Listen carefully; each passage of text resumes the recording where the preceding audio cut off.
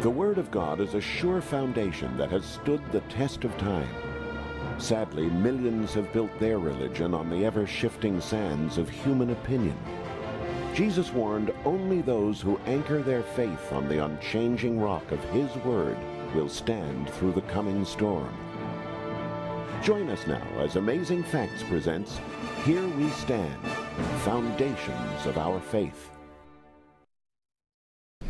Good evening, friends. Welcome again to this revival series entitled Here We Stand Foundations of Our Faith. Pastor Doug Batchelor, speaker and president of Amazing Facts, has been reaffirming the fundamental Bible teachings upon which our faith is founded. I'm reminded of the story that Jesus told in Matthew chapter 7, where he spoke about two men that built houses. You remember that story? And Jesus said the one man built his house on the rock and when the rains came and the floods came and the wind blew, that house stood firm. The other man, Jesus said, built his house upon the sand. And when the rains, the wind, and the floods came, that house fell, and great was the fall of it. We want to make sure that our faith is firmly grounded upon the rock, Jesus Christ, so that when trials and difficulties come, our faith will endure. Well, tonight, Pastor Doug Batchelor's sermon is entitled The Rich Man and Lazarus. But before we invite him to come share with us, John Lomacang will lead us in our theme song again for this week. My hope is built on nothing less than Jesus' blood and righteousness. Amen, friends. Let's stand together as we raise our voices to the glory of the Lord, announcing that our foundation is the sure foundation, Jesus Christ. My hope is built on nothing less than Jesus' blood and righteousness. I dare not trust the sweetest frame, but wholly lean on Jesus' name. On Christ the solid rock I stand, all of the ground is sinking sand. All of the ground sinking sand. When darkness seems to veil his face, I rest on his unchanging grace. In every high and stormy gale, my anchor holds within. Why does it hold? On Christ the solid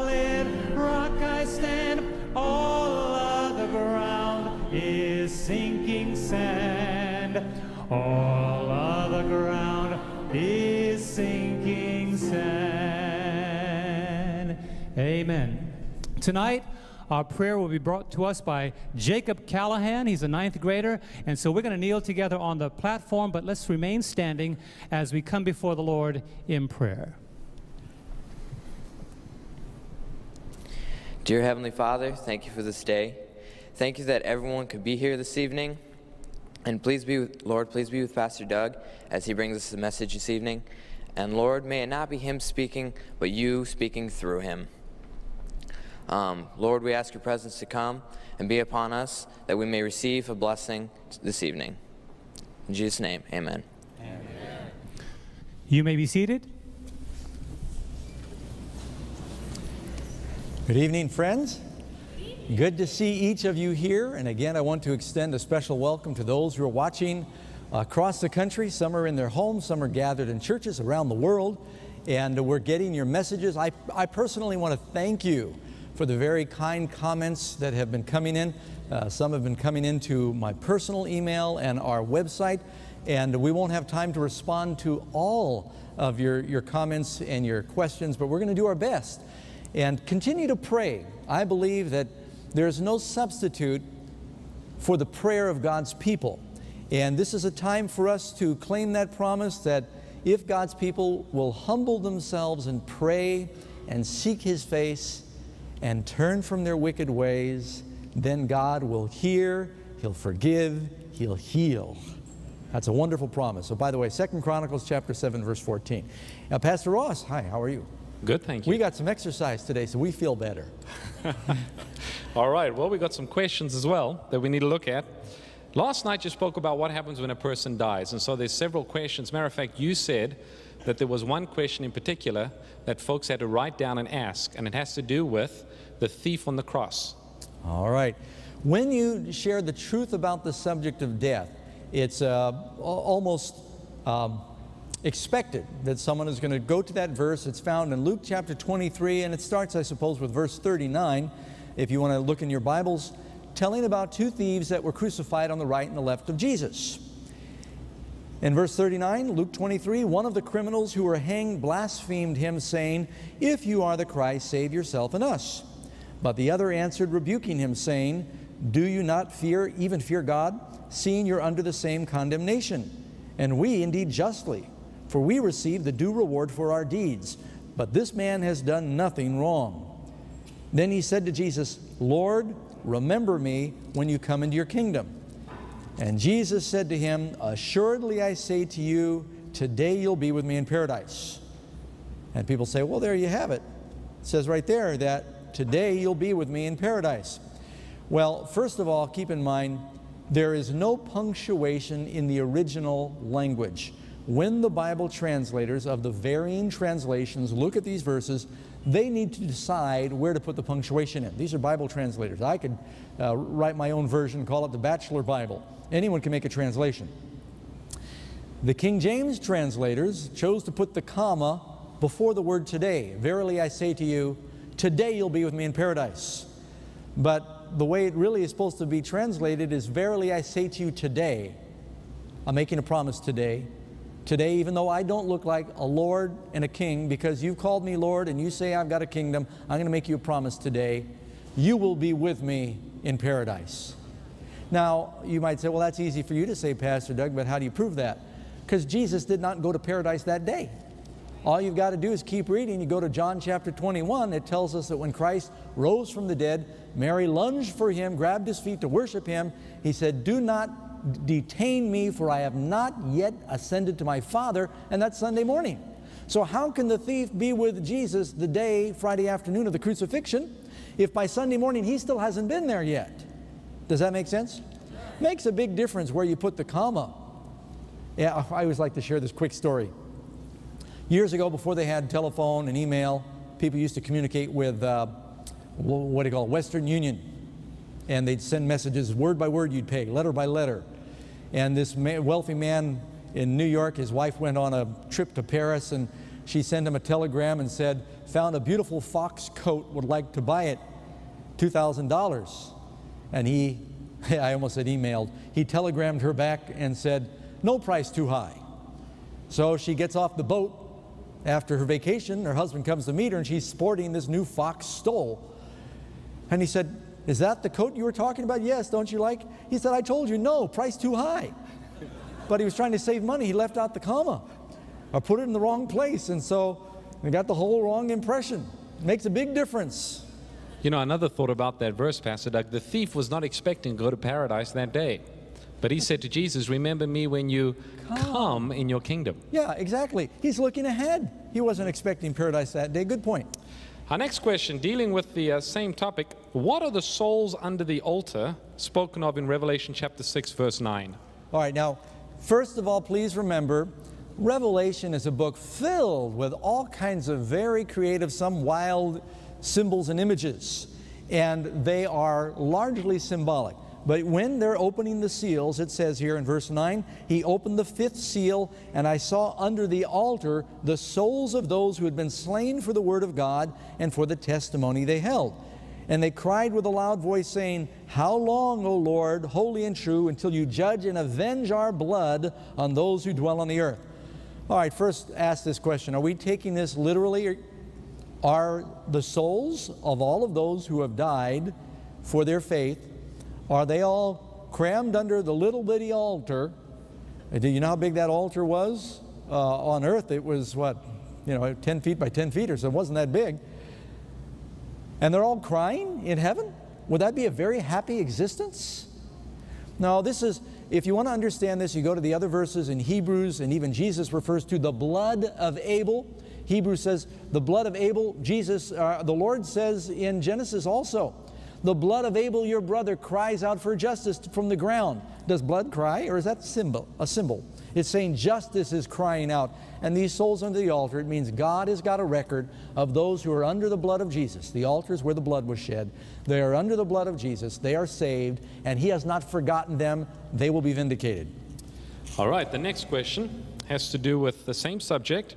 What does 1 Thessalonians chapter 4 verse 14 mean when it says he will bring with him those who sleep in Jesus? All 1 right. Thessalonians 4 verse 14. One of the famous verses dealing with the second coming is 1 Thessalonians 4.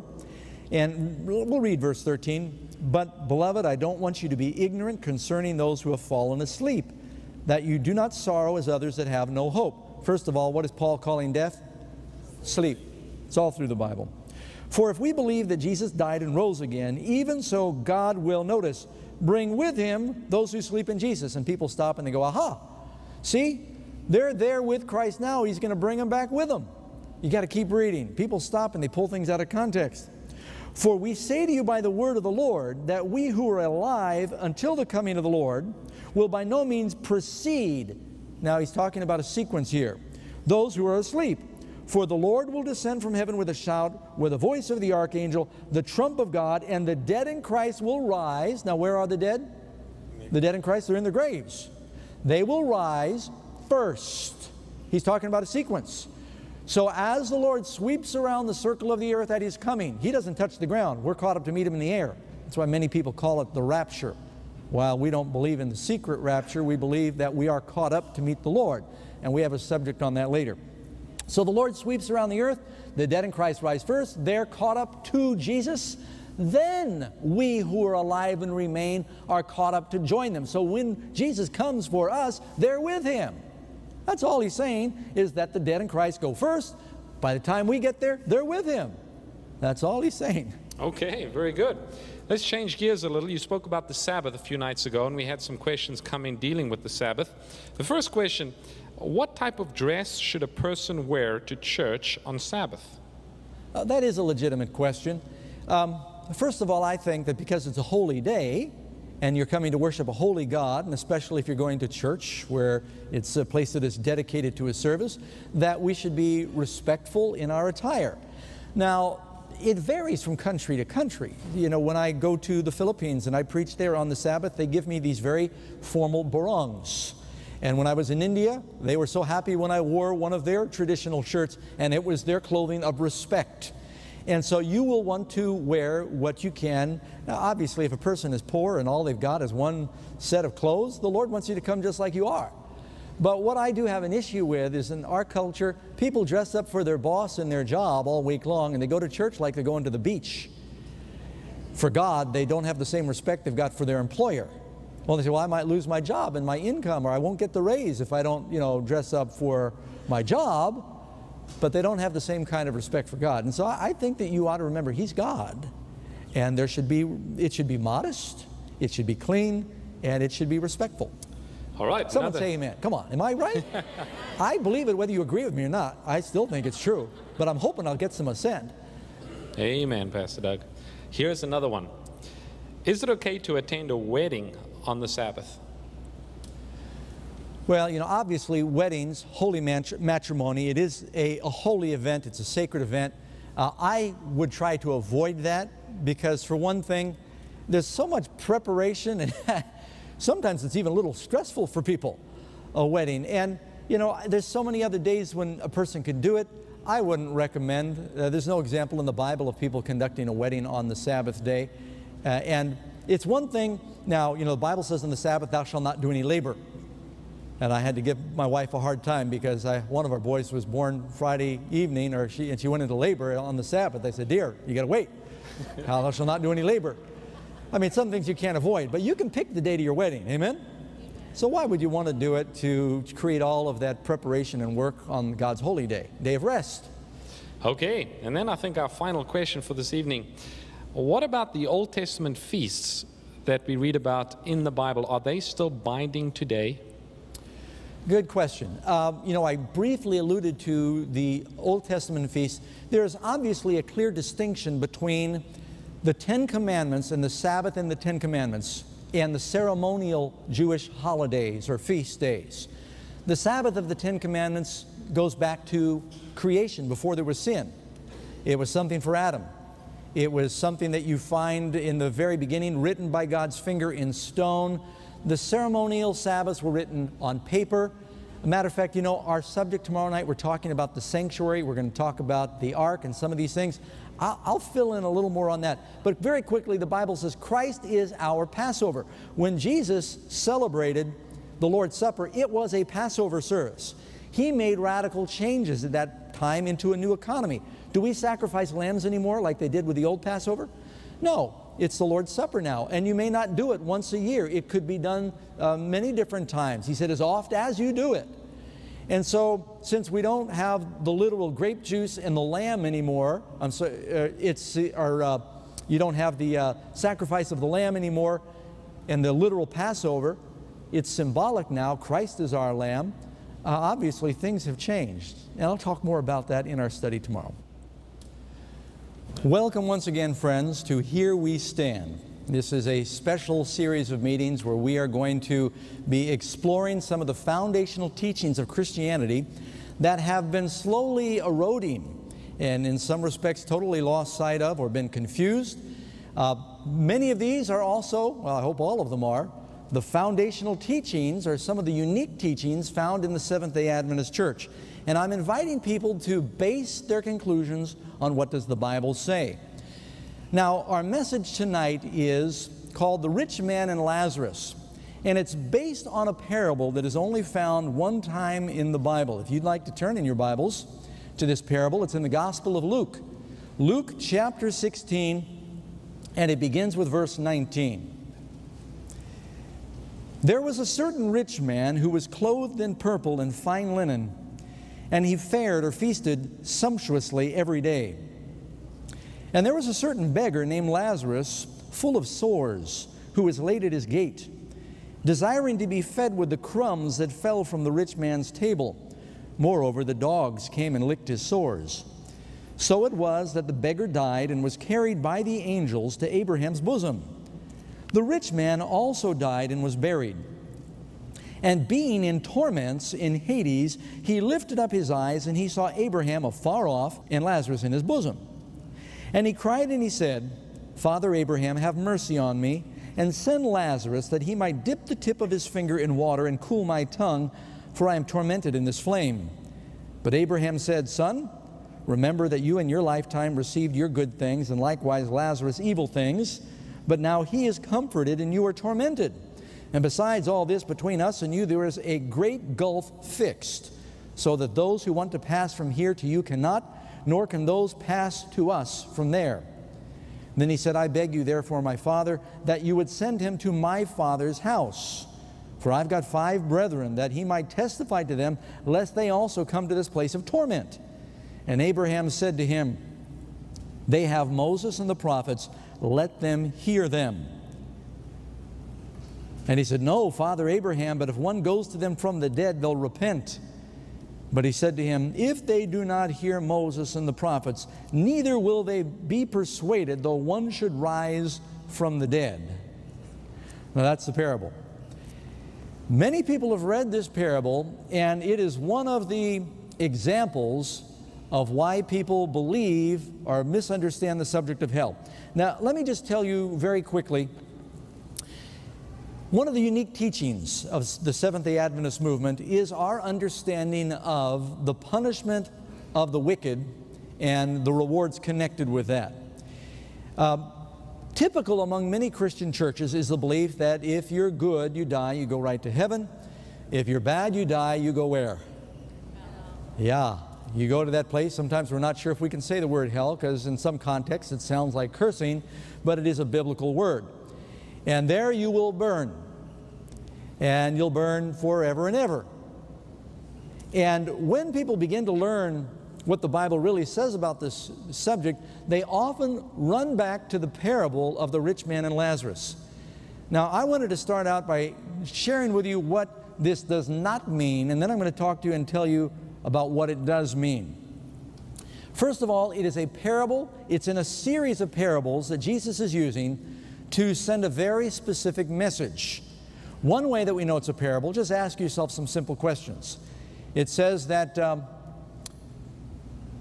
the rich man was in torment and he was asking that his tongue could be cooled with a drop of water. Would a drop of water really cool you in hell? How much good would that do? I mean, if you've got a burning radiator, how much good is one drop of water? Secondly, it says that um, Lazarus died and he is carried to Abraham's bosom. Do we really believe that every good person that dies is whisked by the angels to a holding place somewhere on the bosom of Abraham? Is that literal or is that obviously a figure? Furthermore, do we believe that the people in heaven and hell are going to be able to dialogue through eternity? What kind of horrific picture would that be if the saved are able to look off, as Abraham did, and see the lost blistering in torment? Why did Jesus tell this parable? Well, first of all, let's explain the word that's used there for hell. It's, it's from the a Greek word Hades, and it comes from Greek mythology. Now, when I was a, a young man, I went to public school among the 14 schools I went to. And at one time, part of our class was we participated in a play so we could remember Greek mythology, and we were acting out the Greek gods. And it fell upon me to play the part of Pluto, the god of darkness. And he was in charge of a place called Hades. You've heard the expression, the hounds of hell? There's all these misconceptions about uh, the subject of hell that have come from Greek mythology and medieval teachings that have twisted the truth on this subject. So when Jesus is beginning to share this message with the Jewish pe people, this parable, as soon as he says the word Hades, the listeners there understood he was speaking in metaphors. For instance, in our culture today, suppose that I should say, look, I want to tell you a story. One day, Alice was in Wonderland. Now, right away, how many of you would know that this is not a literal story? Because in English literature, we all know the story of Lewis Carroll, Alice in Wonderland. It's a fairy tale. So we'd never take it literally. They understood. They were acquainted with Greek mythology. They knew what he was saying. You know, so many people have spent so much time trying to explain what this doesn't mean, they forget what it really does mean. Let me tell you what it is talking about. That rich man represented at the time the Jewish nation. Today it represents the church. Feasting on the bread of life while around them the Gentiles were starving for the crumbs of truth that fell from their tables. And yet it was the attitude of many in the church then as it is today. We're God's chosen people, we've got the truth, let's feast. And on their way to church, they would walk by this poor beggar who would have been satisfied with the crumbs that fell from their table. And the only comfort he got was the dogs that came to lick their sores. You remember one time the Bible tells a story about a Gentile woman who came to Jesus and said, Please heal my daughter. And he said, It's not appropriate to take the children's food and give it to the dogs. And she said, Yes, but even the dogs get the crumbs. Very same words that were used. And so when they die, surprise of surprises, Lazarus is in Abraham's bosom where every Jew wanted to be. And the rich man, he's where he thought the Greek concept of punishment was going to Hades. And there's this tremendous reversal of roles. And so the rich man is saying, Father Abraham, the very fact he's saying Father Abraham shows there's a relationship, right? It's a symbol of the Jewish nation. Didn't Jesus say over and over, Many will come from the east and the west and sit down in the kingdom with Abraham, Isaac, and Jacob. And the children of the kingdom the church members who aren't sharing their faith, they're in outer darkness where there's weeping and gnashing of teeth. People miss the real message is a very sobering message. God has given us so many blessings in the truth. In America, He's given us so many material blessings, and so much of the world is struggling and starving for the crumbs that fall from our table. And the Lord is warning us that He gives us the blessings, whether they're spiritual or tangible, to share. Amen? That's the message. He's not telling us people in heaven and hell are going to talk to each other. And so, tonight we're going to talk about the truth regarding the subject of hell. And again, there is so much I've got to share, I can't cover it all. Wouldn't you know, there's even another website. There's a website, you can't miss this one helltruth.com. Matter of fact, if you Google it, I think it's on the first page, it's very popular. helltruth.com. That website's got lots and lots of scriptures and quotes and, and just theologians through history that know this truth from many different churches. And uh, we'll give you some of the evidence. Well, you know, I like to. Uh, incorporate some amazing facts when I, I uh, do my presentations. That's where we get the name Amazing Facts. If you go to California, down in Barstow, California, you can still see the remnants of something that, is called a solar power tower. And what it is, is out there in that part of Southern California where the sun is very hot and it shines just about all year long, they built this, uh, looked something like a lighthouse, and they surrounded it with more than 1,800 mirrors that track the sun through the day, and they reflect the light of the sun as it moves across the sky to this one point on the top of what looks like the lighthouse. And it ends up being the equivalent of 600 suns, because these are like dual mirrors, pointing at that one spot. And it superheats that one spot so much that it ends up creating steam, and they use that steam to turn a generator, and they produce electricity from the sun.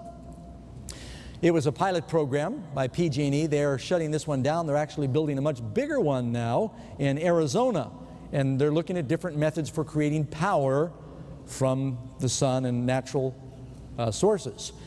What a lot of people don't know is the initial idea for this solar power tower goes back to before the time of Christ. There was a brilliant Greek uh, engineer, inventor, scientist, mathematician by the name of Archimedes. And one of the many stories you can read about Archimedes was from 312 BC, the Romans came to the besieged Syracuse, the city of Syracuse, and they turned to Archimedes to develop these uh, engines of war. And for years they thought that it was just a myth. But he developed what they, he, they called it Archimedes' death ray. And finally, the historians sort of concluded that probably what it was, it's probably a true story. What they said happened is when the Roman ships came into Syracuse harbor, when they, whenever they got within bow shot, he would aim this death ray at the Roman ships and they would burst into flames and be consumed. Of course, it sounds a little bit like a myth, until some people began to do some experiments. And there have been three bona fide experiments, uh, one of them by MIT students. The other one was actually on, I think it's a program called Mythbusters. And they believe that all these soldiers took their shields, they polished these bronze shields, they, thousands of soldiers directed the sun all at one point, and he had some way of guiding them to one point. The Roman ships were uh, smeared with pitch which is extremely flammable. And if they attempted to come into the harbor when the sun was shining, they just burst into flames. And uh, I've even got some pictures here of the experiments that they did, and it shows where they did the experiments, and they actually did burst into flames. Now, our subject today is dealing with the subject of hell and the punishment of the wicked. The Bible does tell us in Second Thessalonians that when the Lord comes, the wicked are destroyed by the brightness of his coming. But that's not hell. Some people have falsely accused Seventh day Adventist Christians of not believing in, in hell. We very much believe in what people call hell or the punishment of the wicked. There is a place where the wicked do burn. Where there's confusion is when are they burning and what it is. A lot of mythology has come into the church over the years regarding this subject. Well, I'm going to go to question number one in our study, and uh, I hope you've got your pencils handy because uh, I think you're going to see a lot of references, and I want you to jot these down. Won't be able to cover them all.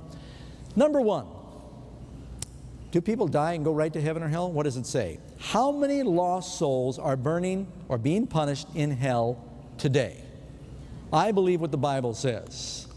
If you look in 2 Peter chapter 2 verse 9, it says, The Lord knows how to deliver the godly out of temptation and to reserve the unjust to the day of judgment to be punished. When are they punished? What did, what did Peter say? The day of judgment. Has that happened yet? The great judgment day? No, no. that is still in the future. And if you don't believe Peter, listen to what Jesus says in John chapter 12, verse 48. The word that I have spoken, the same shall judge him in the last day. When? Last day. The last day. One more time. Uh, question number two When exactly will sinners be cast into hellfire? Has it happened already?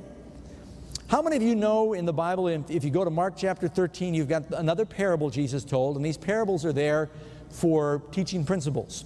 And it's the parable of the wheat and the tares.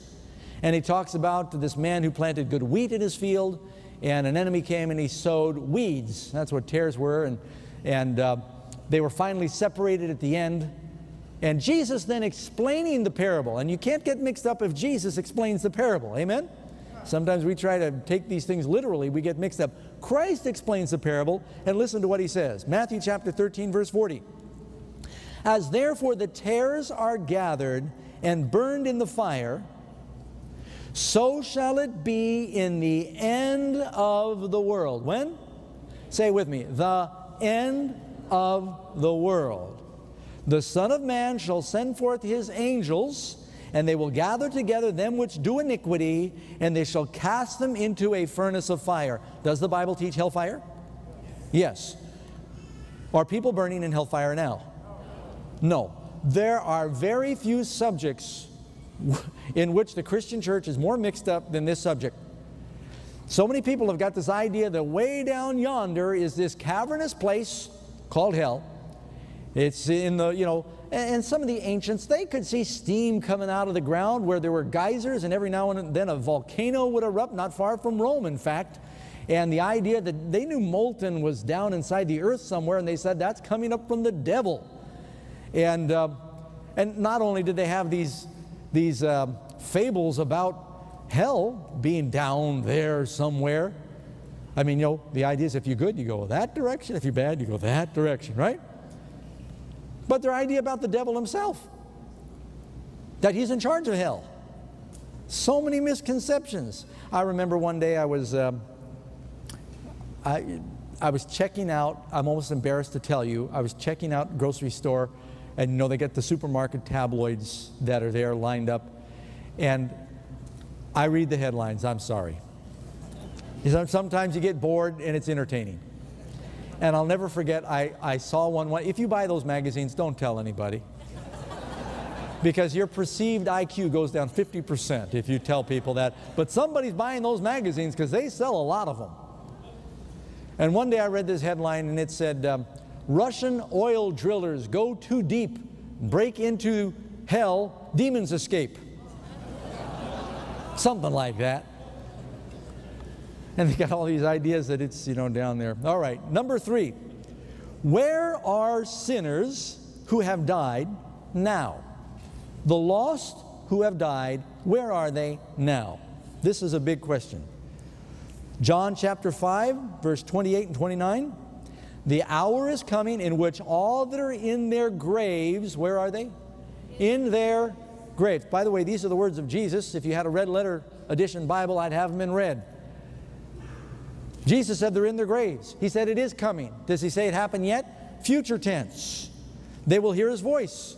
Job chapter 21, verse 30 and 32. The wicked is reserved to the day of destruction, yet he will be brought to the grave and remain in the tomb. It, it, they're being held there, they are reserved, they are not burning in hell now. And I think this is so important for you to understand.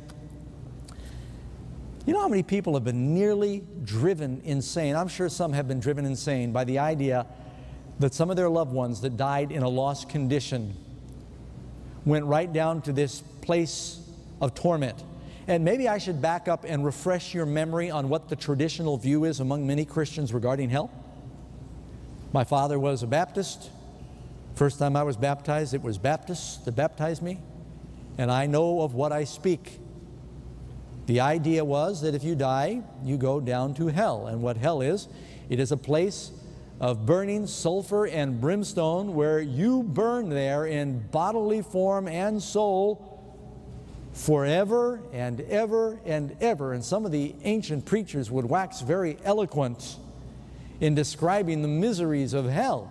And they talk about folks who are swimming through the molten fire, blistering and, and screeching in agony, and they would swim to the surface and manage to get their heads just above the bubbling, molten brimstone. And they call out, Lord, how long? And he'd say, You've only just begun. And a million years later, they'd come back up and ask again. He'd say, You've only just begun. Terrible, terrible images. And now picture that, and then you have someone you love who dies in apparently a lost condition. That, that uh, could really be disturbing. It should be comforting to people to know, saved or lost, they're asleep right now. That's what the Bible teaches. Question number four What is the end result of sin? Now, this plays, these two subjects from, on death and the punishment of the wicked go hand in hand. I talked about death last night. James chapter 1, verse 15. Sin, when it is finished, it brings forth what?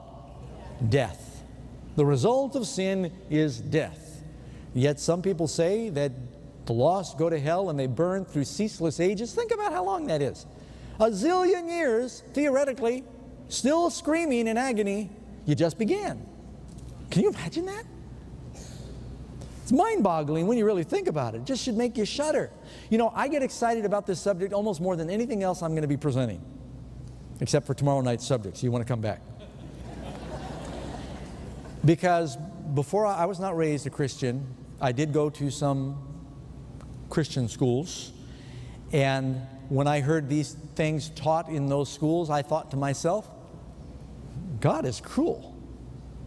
God is sadistic. I, am embarrassed to tell you that. I don't want to be disrespectful or blasphemous, but these are thoughts that I had. I thought, how can that be just to take these creatures that are all born with this natural propensity to sin? Let me see your hands. Anybody here, you don't have a natural propensity to sin?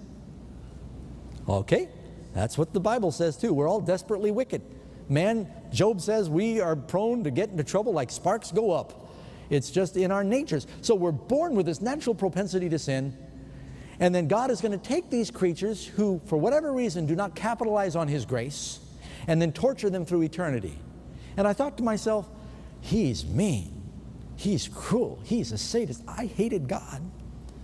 And when I finally got that Bible up in the cave and I started reading, I was getting a whole different picture going through the Bible than what I was hearing pastors say.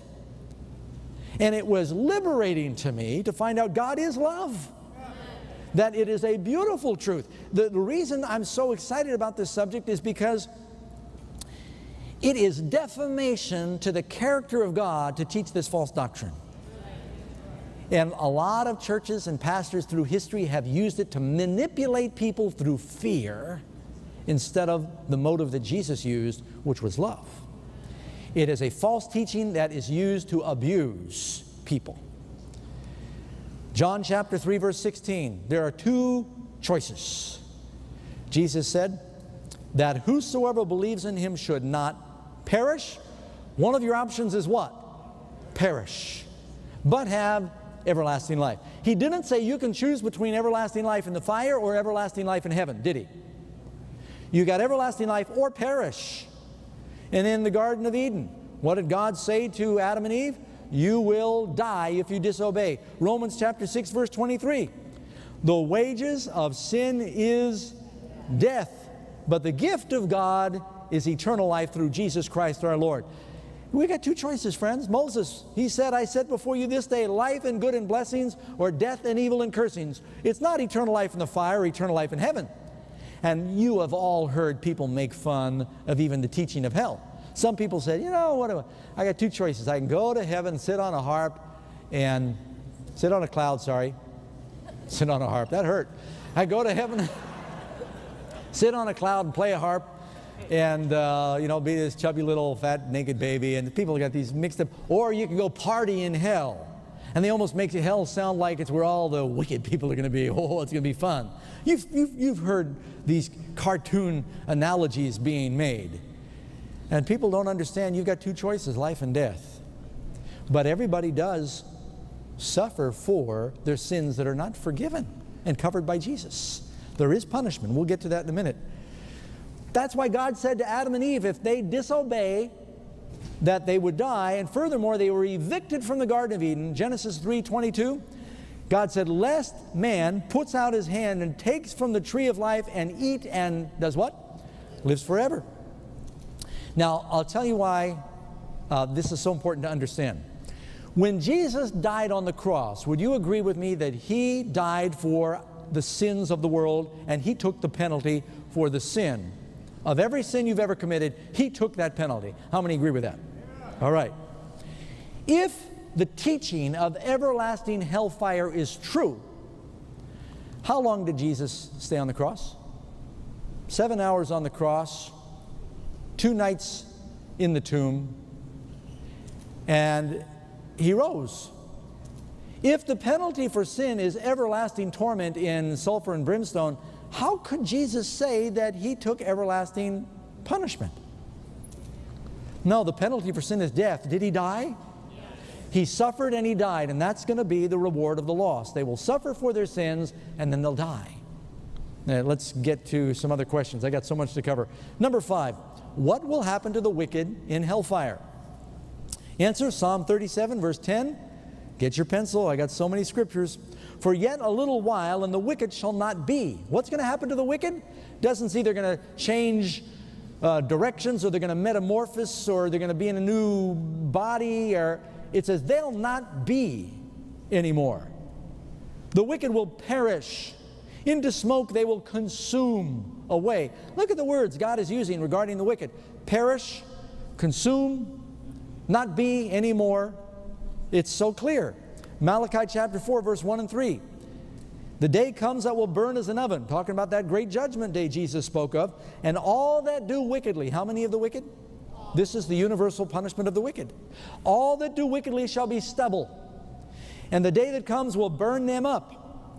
And you will tread down the wicked, for they will be ashes under the soles of your feet.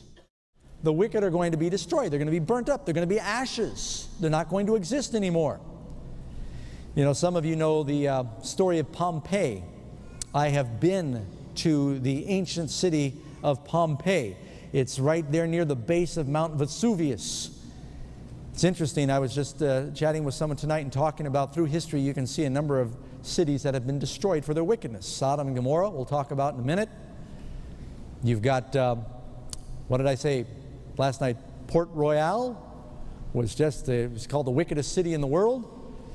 You've got Sodom and Gomorrah, you've got Pompeii, the Lisbon earthquake that took place, San Francisco earthquake. People said it was one of the wickedest cities. It was like a big bordello back when the earthquake hit. Now they're about ready for another one, aren't they? Sorry. I'm going to get letters on that. I'm from California. I take it back. I'm sorry. they sort of have become a city that seems to embrace a lot of very uh, immortal views. Mount Vesuvius exploded. The people in Pompeii were covered with ash and they were destroyed. A little amazing fact I, will share with you the Roman soldiers that the legion of soldiers that led out in the destruction of Jerusalem and the temple were later vacationing in Pompeii when the mountain blew up, and many of them were killed because they were told to maintain their post.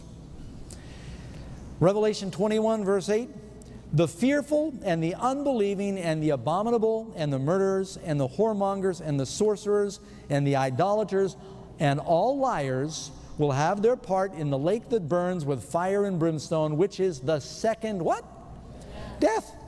Is there hellfire? Yes. Are the wicked going to burn in hell? Yes. But it says they're consumed, they're burnt up, they'll not be. It is a death. It's not just the first death that everybody dies, this is the second death from which there is no resurrection. I heard a pastor say one time if you're only born once, you're going to die twice. Everybody's born once, right? But if you're born twice, you only die once.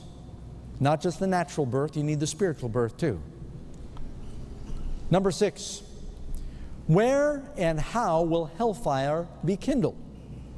Answers Revelation 20, verse 9. At the end of the world, it's talking about when Satan gathers all the wicked to assault the city of God, the New Jerusalem. And they go up on the breadth of the earth and they encompass, they surround the camp of the saints, the beloved city, and fire comes down from God out of heaven and devours them. So, to start with uh, the first part, is hell down under the earth somewhere? Or is that lake of fire going to be on the earth? God rains fire down out of heaven upon the earth, same way it happened back in the days of Sodom and Gomorrah.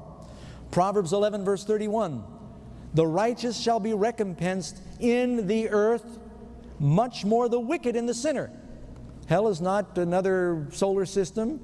Hell is going to burn in Lansing, Michigan, among other places, all over the planet. The Lord is going to baptize the world in fire. 2 Peter chapter 3 tells that.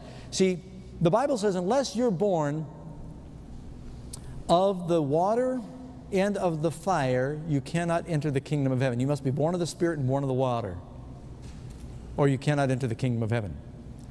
That's talking about being baptized in the Spirit, being baptized in water baptism. The world was baptized in water in the days of Noah. It'll be baptized in fire when Jesus comes again, and then he makes a new heaven and a new earth. When God asked the devil in the book of Job, Where did you come from? He said, I came from the earth, walking to and fro on it, not underneath the ground. He doesn't have a headquarters down in Carlsbad Caverns somewhere. Number seven, how big and hot will hellfire be? The answer, I just was actually quoting this a second ago. 2 Peter chapter 10, I'm sorry, 2 Peter chapter 3, verse 10.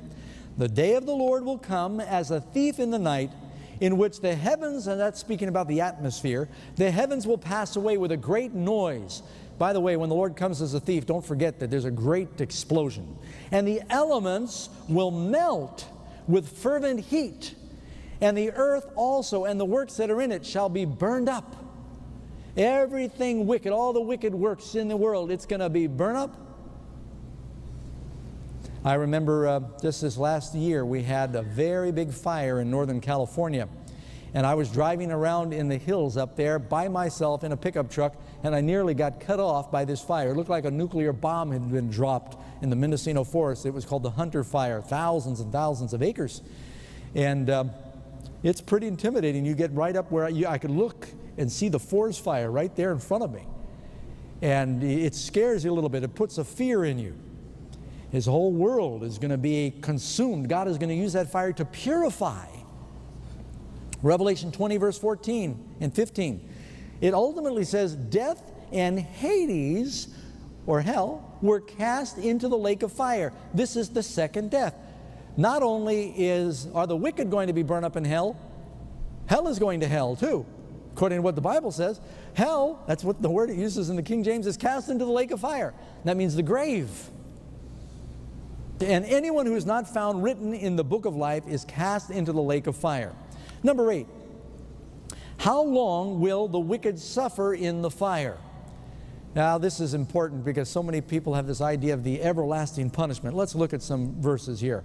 Revelation chapter 22, verse 12, Jesus said, Behold, I come quickly, and my reward is with me, to give to every man according as his work shall be.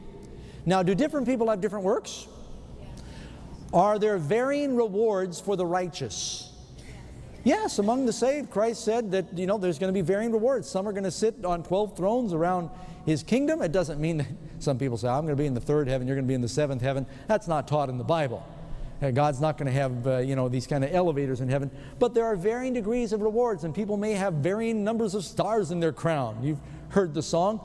There are varying degrees of punishment. But if everybody burns forever and ever, then it would seem that everybody gets the same punishment.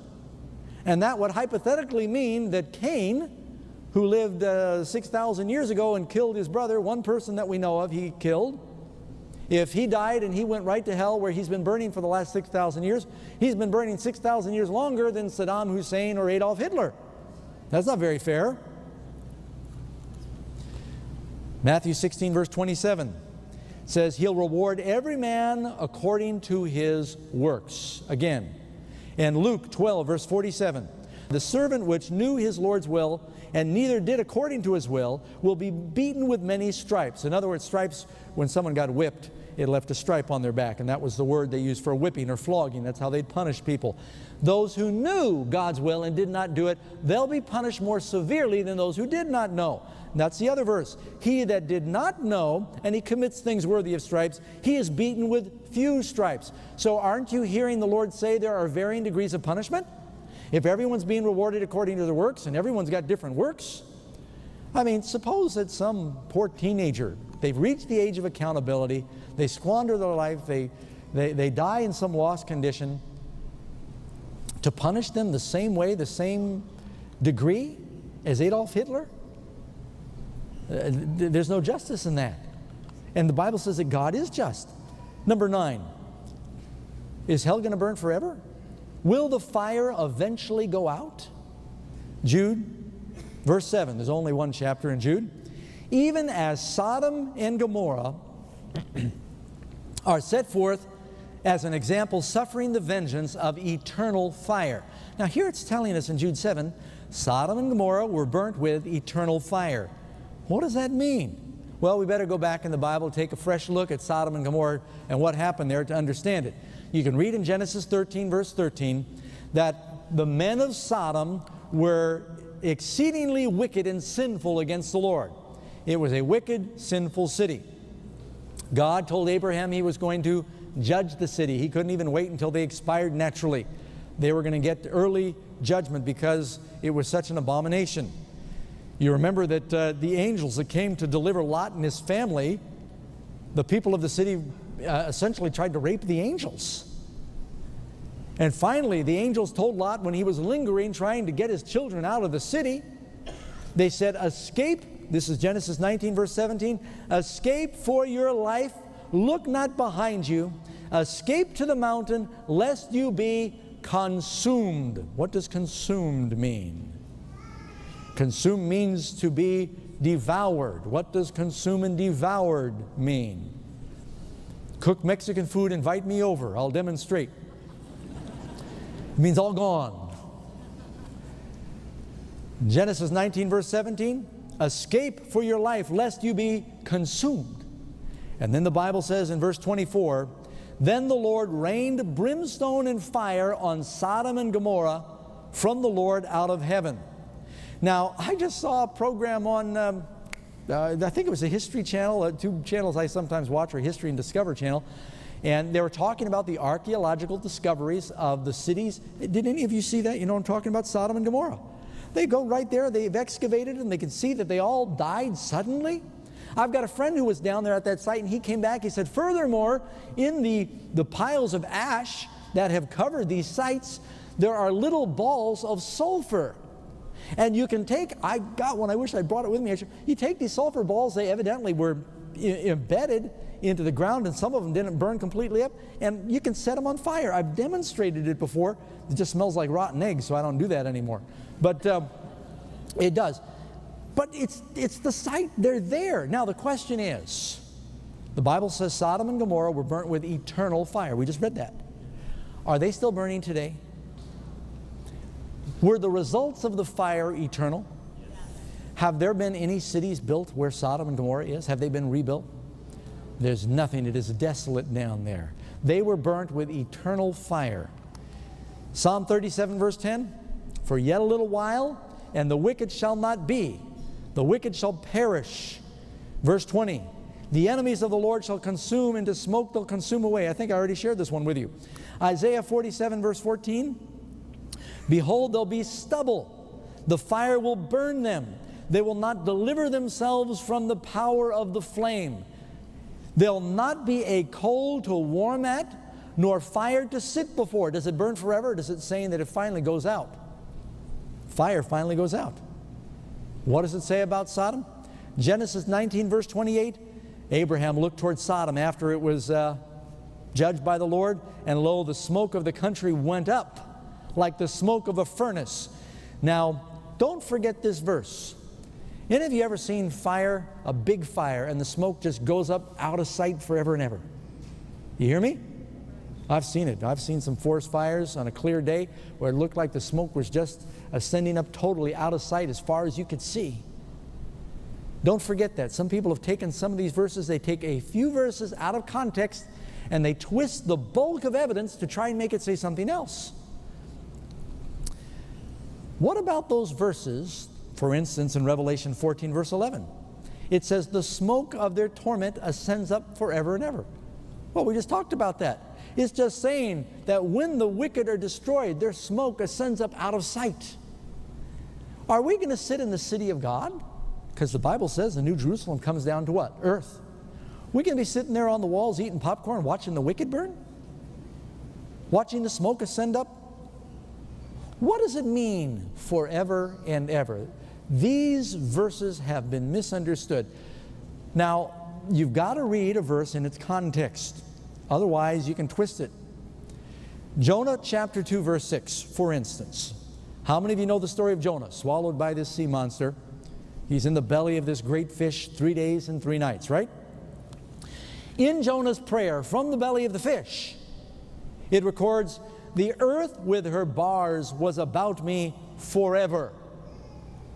Now I expect, have you ever thought about what it must have been like to be Jonah? You're in the digestive system of this sea monster down at the bottom of the mountains. And it occurred to me one day that if Jonah was still alive in there, that sea monster could have been dining on other things before he swallowed Jonah. There could have been other critters in there squirming and spooking around.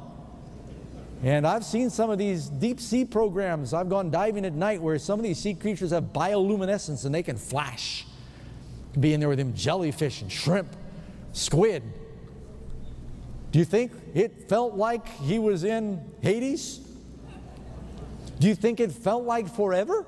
Three days and three nights of that? But was it, is he still there? No, but he used the word forever. Matter of fact, you can find many, many times in the Bible when it used the very same phrase forever and it describes something that did have an end. For example, Exodus chapter 21, verse 6. Speaking of a servant who committed his life to his master, he'd go through this ritual and it said he will serve him forever. Well, what did that mean? Even in heaven or until he died? It meant he'd serve until he died. When Hannah brought Samuel to the temple and dedicated her son to the Lord's service, he'll remain there at the temple forever. Question Is Samuel still there today? No, it meant for the rest of his life until he died. And again, 1 Samuel chapter 1 verse 28, as long as he lives. How long would Samuel be there? How long was that forever? As long as he lived. The word forever, in Greek, it comes from the word eon. And you ever heard someone say, I haven't seen them in eons? Well, it means forever. It's been, been forever. It's often used that way, and you don't really mean a billion years from now. And yet people have taken that and applied it to the teaching of the punishment of the wicked, and they've turned God into a tyrant and a sadist from twisting the scriptures. Forever and ever is a biblical expression which means until the end of the age. It's not necessarily an infinite, unending length of time. Oh, by the way, that's a quote from a commentary of a Christian, not a member of my church, but this next picture will give you some names, and I forget who said it. Um, how many of you know Martin Luther, father of the Protestant Reformation? He believed this way. Tyndale believed this way, who translated the Bible. John Stott, who's considered the father in England of the uh, evangelical movement in the world, he's about 80 years old this year. Good Christian man. He believes what I'm teaching. This is not a doctrine that is owned by the Seventh day Adventists. All through history, many Christians have known the truth on this subject that the wicked will ultimately be destroyed in the fires of hell. They don't burn there forever and ever and ever. Say amen. amen. Matter of fact, Donald Barnhouse on his commentary talking about Seventh day Adventists. He said, We cannot fault Seventh day Adventists for believing this because, after all, many of the founders of the church believe this way as well. Number 10. What will be left when the fire goes out? Does it continue to burn? Answer Malachi chapter 4, verse 3. It says, They'll tread down the wicked, for they shall be ashes under the soles of your feet in the day that I do this, says the Lord of hosts. In other words, when the redeemed go forth from the New Jerusalem, after God's created this new heavens and this new earth, there's grass growing on the ground, and under the grass is the, uh, the wicked. The wicked who oppressed and persecuted the Christians will ultimately be ashes under the soles of our feet. And they're not going to be screaming, ouch, and, uh, you know, that hurts as you walk around. They're not conscious. Isaiah 47 14, there will not be a coal to warm at, nor a fire to sit before. Speaking of the punishment of the wicked, they'll be burnt up and it goes out. 2 Peter 2, verse 6, turning Sodom, this is another verse on Sodom and Gomorrah, turning Sodom and Gomorrah into what? Ashes, condemn them with an overthrow, making them an example unto those that afterward live ungodly. So if we're wondering what is going to happen to the wicked, Sodom and Gomorrah are set forth as an example of what's going to happen to the wicked so we can understand this. Let me talk to you for a minute. A lot of people know what I'm telling you. A lot of Christians in other churches know these things. They recognize it. A lot of ministers recognize it. I was driving across Texas one time, and uh, I came across a car that was disabled out in the middle of a long stretch of country. It was a father and mother and two girls. I stopped to offer them help. I used to do mechanic work. Turned out that uh, their, their engine stopped because their battery was completely dead, not even enough to fire the spark plugs. I still remember it was Christmas Eve. Nowhere to go. Our home wasn't too far away. Invited this couple, stay with us. We'll see if we can get it fixed. I, I can check it out. Towed them. It was kind of pathetic because I had a Mazda GLC and I'm towing this big old Texas boat, whatever it was, um, with my little Mazda. Towed them up to the house. And we, son worked on the car, pulled out the alternator, found out what the problem was, but couldn't fix it right away. So they spent the night. And he said, Brother Doug, uh, I'm a Christian, I'm a pastor, I'm a Baptist pastor. And I said, Praise the Lord, I'm a Christian. And we began to talk about some of the differences. And um, uh, in our time together studying, this subject came up. And I said, Brother so and so, I said, You know, how can you? Said, I know what Baptists believe. As I said, my dad was a Baptist. I said, how can you believe that the wicked are going to be burning through all eternity? I said, What about these verses that say that they're devoured, they're consumed, they perish, they will not be, it's the second death, they are destroyed? And he got real quiet and he looked down. He said, You know, Pastor Doug, I've seen all these verses and it's kind of been troubling to me. He said, But if I told my members that, they wouldn't come to church. That's exactly what he said. I said, Brother, are they coming because they're afraid? I mean, fear is not all bad. And the Bible does say some things that should sober us up. Uh, I think if a person is on the way to destruction, they should not be at peace. I hope you're afraid. You ever read the book Pilgrim's Progress? There is part of the Christian message is to get up and flee from the wrath to come. We need to flee to that city of refuge. But you're running from what you're afraid of, you're going to the one you love. And those who go to church every week and they're afraid of God and they're, they, they resent Him, that's the wrong kind of fear. And yet, so many people are being manipulated by religious leaders because of the misunderstandings on this teaching. I hope you go to that website, helltruth.com. I'm just covering the tip of the iceberg of scriptures that are there. There's just volumes and volumes of information. Number 11, Will the wicked enter hell in bodily form and be destroyed, both soul and body? Some people say, yeah, it's true that uh, the bodies are burnt up, but the souls burn forever and ever. Or people say, only the souls are put in hell. What did Jesus say? Matthew 10, verse 28. Catch this. How many of you believe Jesus? If you forget everything I said tonight and you believe this one verse from Jesus, it is so plain it cannot be misunderstood. Jesus said, Fear not them which kill the body, but are not able to kill the soul. A lot of Christians were persecuted through the ages. Jesus said, Don't be afraid of what they might do to your body. Stand for the truth. Amen? Say, Here I stand on the Word of God. You might be persecuted. Don't be afraid if they even torture your body. But rather fear Him, meaning the Father, who is able to destroy soul and body in hell. Some people say, well, it's just the body that burns up, but the soul burns through ever and ever and ever. And that's not what it says. It says soul and body are burnt up, they're destroyed. If you were God and you're trying to communicate to humans what the fate of the wicked is, what words could you use other than what I've already used?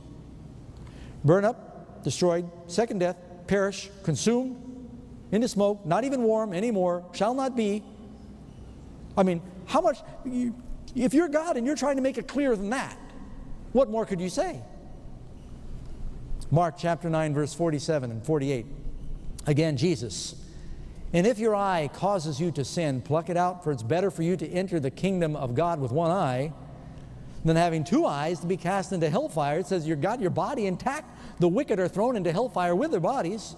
Having two eyes be cast into hell, where their worm does not die and the fire is not quenched. Now, I, I probably need to uh, stop at this point and explain that. Wait, Pastor Doug, it says the fire is not quenched. The word that Jesus used there for hell, where he says it's better to, to go into heaven missing an eye or missing a hand or a foot than to go into Gehenna. The word he used is Gehenna, where the worm doesn't die and the fire is not quenched. Also uses that same terminology in Isaiah. Outside of Jerusalem, first of all, is anybody going to heaven without an eye, a foot, or a hand? Okay, so right away, what does that tell you about what Jesus is saying there? He's illustrating something. Right outside of Jerusalem is a valley called the Valley of Hinnom. That's the exact word that Jesus used there. Better to go into heaven, missing an eye, hand, or foot, than to go into Gehenna with your whole body. It was the dump. It was a deep, very steep area. It wasn't convenient for building because it was so steep outside Jerusalem, still there today. They filled in it over the years. It's not quite as steep now. And they used to throw all of the unclean animals that died and the broken baskets and the, the pottery and the garbage, and it was full of dead uh, carcasses and uh, animals and things they didn't want to bear. Just it was putrefying, so they tried to keep it burning. It was full of worms and it was smoldering. It was the most objectionable place around the city, the city dump. I remember I used to drive around Texas, and every 10 miles they, they have a city. And every city had their own dump, and people used to burn their trash, and, and they'd go out, and sometimes the trash wasn't completely, the fire wasn't out, and they'd dump their trash into the, the dump, and it was, they were always smoldering, always burning. You know what I'm talking about? Some of you live by these town dumps? Yeah. That's what Jesus is talking about. That's the exact word he used. But what about the phrase where it says unquenchable? Matthew chapter 3, verse 12. He will thoroughly purge his floor and gather his wheat into the garner, but he'll burn up the chaff with unquenchable fire. And people say, see, fire never goes out. All that means is that there's nobody extinguishing. To quench means to extinguish. It's a verb for that. No one's going to be extinguishing the fires of hell. Jeremiah 17 27 is a good example of this. If you will not hearken unto me to hallow the Sabbath day and to bear, not to bear a burden, even entering in at the gates of Jerusalem on the Sabbath day, then I'm going to kindle a fire in the gates thereof, and it will devour the palaces of Jerusalem, and it shall not be quenched.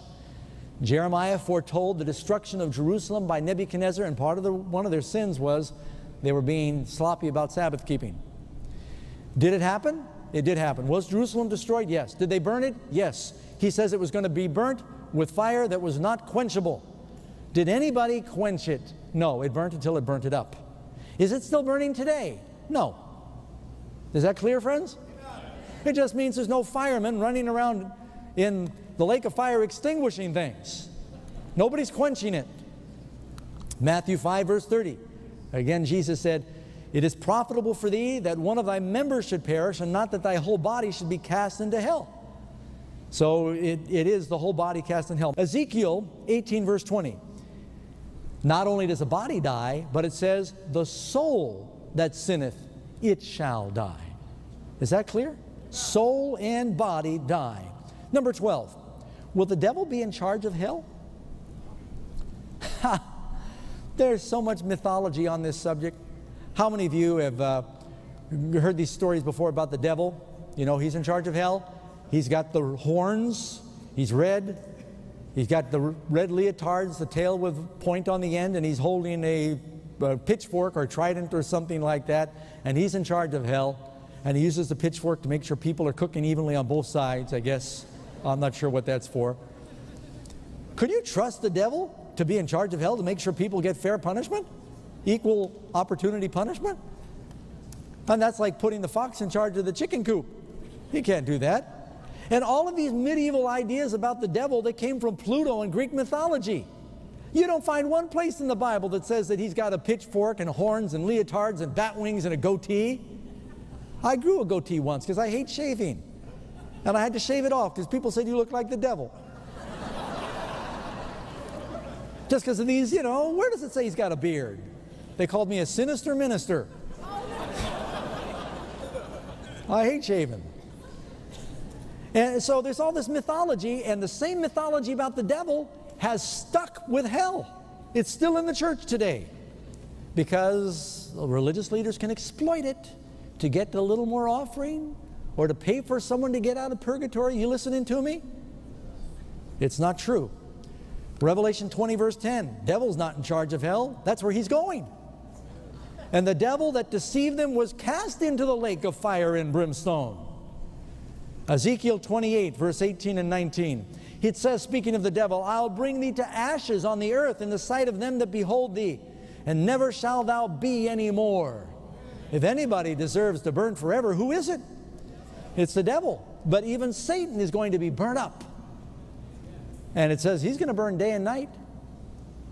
I mean, he'll burn longer than anyone else. If everyone is rewarded according to their works, who deserves the worst? The one who instigated the whole rebellion, right? So we don't know how long Satan's going to burn, but it's going to be longer than Jonah was in the belly of the fish. Revelation 20, verse 15. And whoever was not found written in the book of life is cast into the lake of fire. Do we believe in hellfire? Yes, here it is. It's going to burn on the earth after Jesus comes and judges the wicked, and we've got a subject on this. What is the real purpose? Number 14. What's the real purpose for hellfire?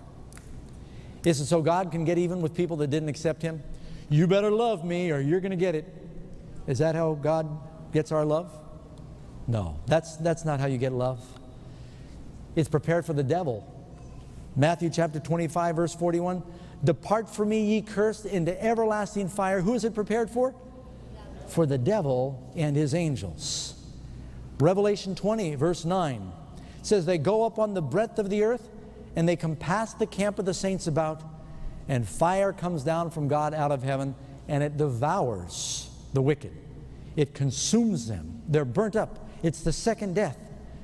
Does the Lord enjoy the work of punishing the wicked? No, it's one of the hardest things in the world for him to do. It breaks his heart. Number 15, isn't the work of destroying sinners foreign to God's nature? The Son of Man did not come to destroy, but to save. 2 Peter 3, verse 9 the Lord is not willing that any should perish. He doesn't want anyone to perish, but He wants all to come to repentance. The Lord wants to save as many as He can. Isaiah 28, verse 21 The Lord shall be wroth that He might do His work, His strange work, and bring to pass His act, His strange act.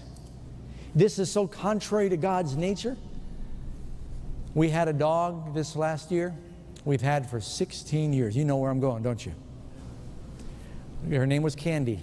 Belonged to our son that we lost. The dog lasted longer than our son. And so it was really, really hard. When Candy got to the place where she, we, we just couldn't bring ourselves to do it. But she finally got to the place where she just was dragging herself around. And uh, I mean, that dog had a good life. Um, ran free on some property. When she was thirsty, she drank. When she was hungry, she ate and just had a dog's life, as you would say. But this year, I had to do something about that. And it broke my heart to do it. And that's a dog. How do you think God feels about dealing with the creatures made in His image? It's a strange act. There's certainly no justice in the idea that people are going to be tortured through all eternity in hellfire. When I lived up in the mountains in the cave, my cat caught a mouse one day. I was cooking my dinner. And you know, cats are sort of sadistic, aren't they? And they don't just kill it and eat it, they like to play with their food. And caught a little kangaroo rat. The poor thing was so dazed, he'd catch it, let it go, catch it, let it go. And, and one desperate final attempt to bolt for freedom, the thing hopped into the fire. Listen to you. You all go, oh. And remember, I'm talking about a rat. There's not a person here that can bear to think of a rat burning for three seconds. And yet, what do we put on God when we say that He's going to do this to His rebellious children through eternity? Ezekiel 33, verse 11, the Bible says, As I live, says the Lord God, I have no pleasure in the what of the wicked?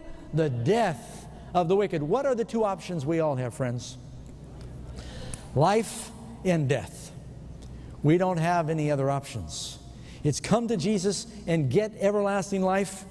If we neglect that opportunity, our option is death. Luke chapter 9, verse 56, Jesus said, For the Son of Man has not come to destroy men's lives, but to save them. If he just wanted people to be destroyed, he didn't need to come at all. We're all under a death sentence. He came to save us from that. You wouldn't do it to your dog, you wouldn't do it to a rat. And Job asks this penetrating question Shall mortal man be more just than God? Are you more loving? We're all selfish sinners. Are we more loving than God? Mortal man, we wouldn't even do this to our animals. And yet people are painting God with this doctrine. What are God's plans for the earth and his people afterward?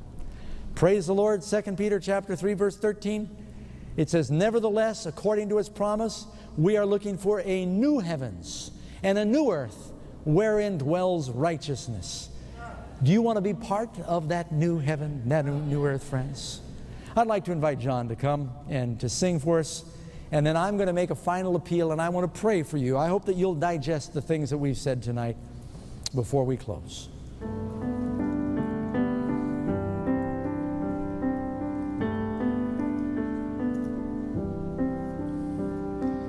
Pass me not, O gentle Savior.